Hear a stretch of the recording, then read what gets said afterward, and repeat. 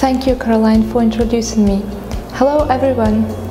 I'm very happy to tell my story since I really believe in female contribution to science, technology, engineering and mathematics. When I was in school, boys used to say that girls have a natural disadvantage in thinking logically. It's an absurd, isn't it? Logic is an intellectual ability and intellect has no gender. So for me there is no surprise when I see my best female friends are successfully pursuing degrees in applied math, architecture and cybersecurity.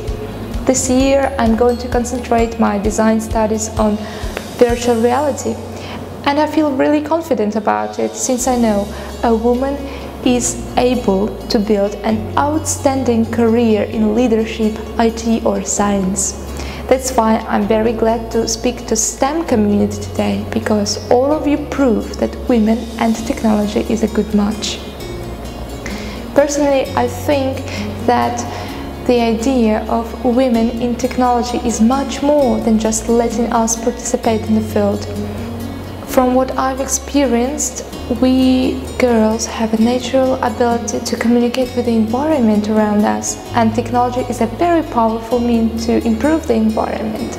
So we could use both our potential in communication and our knowledge of high technologies to construct more peaceful and sustainable world. We live in times of global ideas and new technologies. It doesn't really matter your age, your origin or your gender.